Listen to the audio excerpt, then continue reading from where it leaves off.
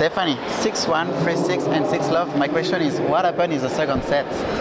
I mean, she's a good player, and we had very tight games already in the first set, and I won almost all of them the first set. And the second way, second set it went the other way. So Yeah. So in the first one, you bet a French player, Amandine Hesse, very fast, and today you bet a top 100 player. So a good uh, tournament for you so far.